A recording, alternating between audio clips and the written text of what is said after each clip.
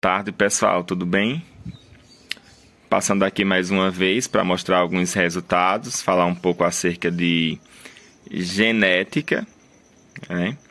Eu tô com algumas plantas aqui separadas, né? Eu acredito que deva ter uns 3 a 4 cruzamentos aqui, alguns com flores.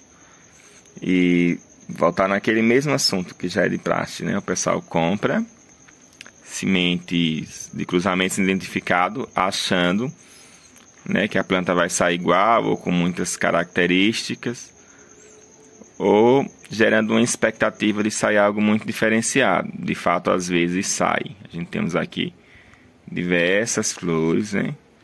E eu queria conversar um pouco acerca de genética para mostrar acerca dessa é, variação, né? E por que essa variação genética ocorre, por que essa variação genética acontece.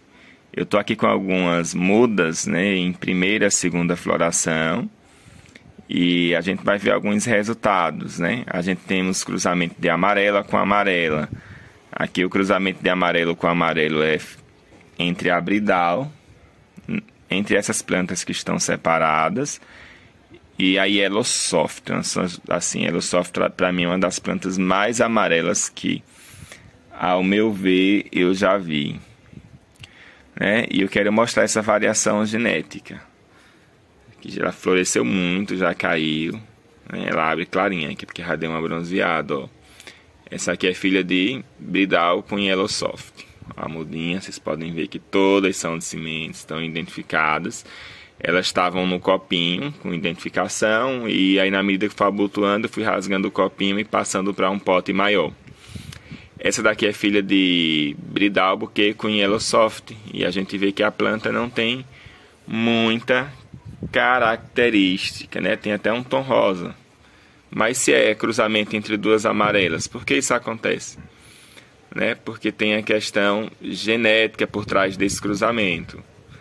A gente sabe que por si as plantas já são em tonalidades rosas na natureza, né?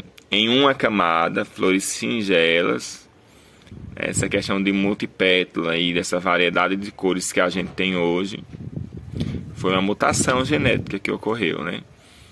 É, não sei bem o certo, alguns falam que a primeira mutação genética de cor e de pétala né, aconteceu no Vietnã. Eu não sei ao certo. Né, acho que foi a Doxo, pelo pouco que eu já ouvi. Né, mas então, assim, a gente percebe que muitas vezes não vai puxar as plantas que são oriundas do cruzamento atual, vai puxar a plantas é, que têm uma genética talvez lá no passado, anteriores a ela. Lógico que esse, tra esse trabalho de melhoramento, de melhoramento genético pode ser vindo feito com o tempo e aumentando as possibilidades de se apurar as cores. Então, assim, essa é filha da Bridal, né? Não tem nada a ver nem as cores, porque isso é variação genética, né? Ela possivelmente herdou algumas características dos seus antepassados. Aí a gente temos uma aqui, ó. Ela é bem amarela, porque meu celular puxa um pouco a cor, mas ela é bem amarela e eu me apaixonei, né? E eu confesso que eu ajudei a abrir, né? Não me contive. Ela tem muito botão ainda para abrir. Ela é bem amarela, ela é singela e pura.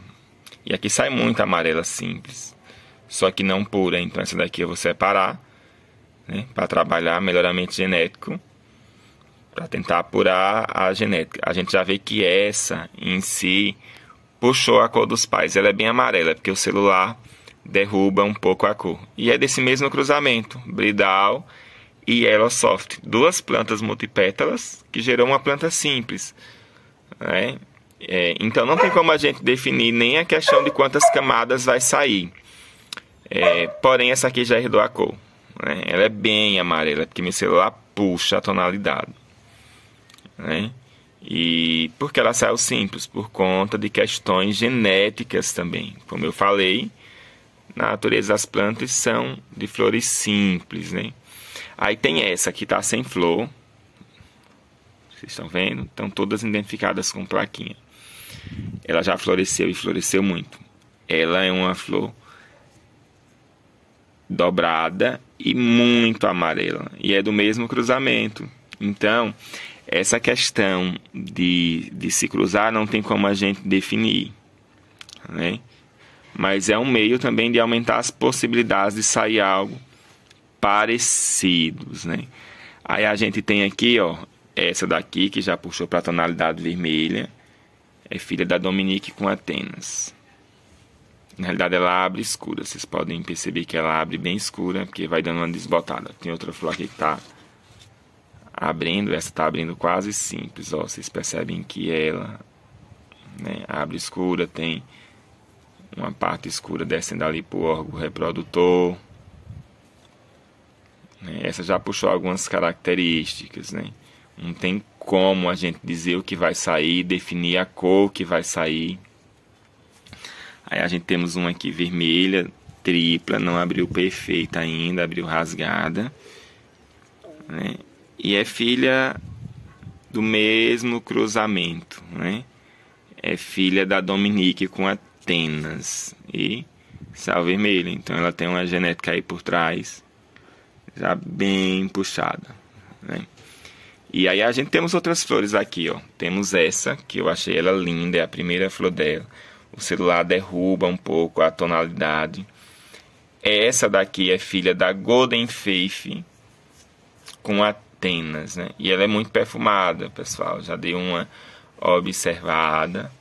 Tem muitas plantas desse cruzamento aí saindo extraordinária nas mãos de vários clientes que compraram sementes, né? A gente pode até depois procurar algumas fotos e cederem, se eles cederem, né? Mas olha que flor charmosa. Ela é mais escura porque o celular derruba um pouco a tonalidade. Então assim, essa saiu dobrada, né? Mas ela já puxou umas características diferentes, conjunto de pétalas. Eu achei um pouco parecida com a da Dominique, não as cores, né? É, e são plantas que possivelmente ainda alterem um pouquinho a coloração devido à adubação devido é, à estrutura da planta também. E desse mesmo cruzamento tem outra que também eu achei muito bonita, que é essa. Essa é muito linda. Olha o tamanho da mudinha. Todas as plantas aqui são de cruzamentos. Olha que flor linda.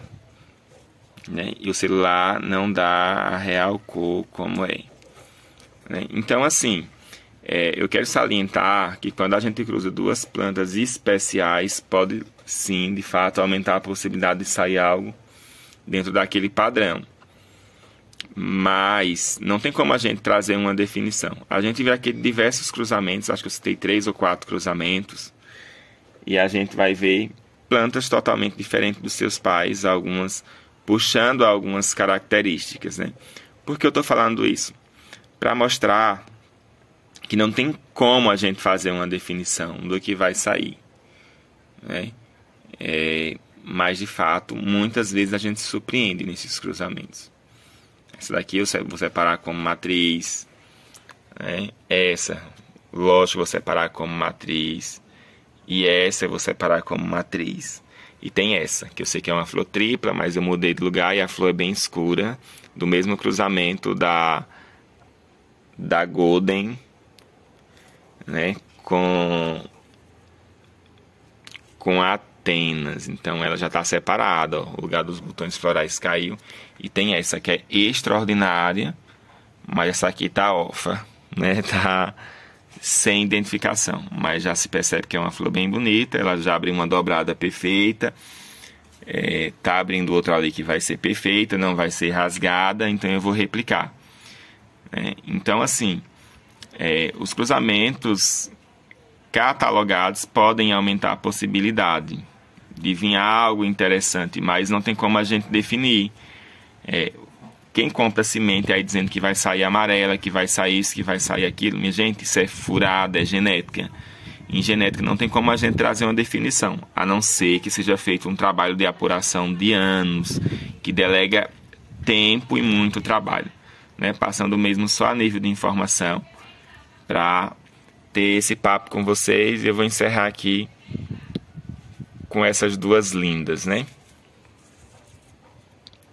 É, aproveitem o feriado, é, usufrua dele. Esse foi o dia que o Senhor fez, que o Senhor nos abençoe e nos possibilite um excelente dia. Deus abençoe, um abraço.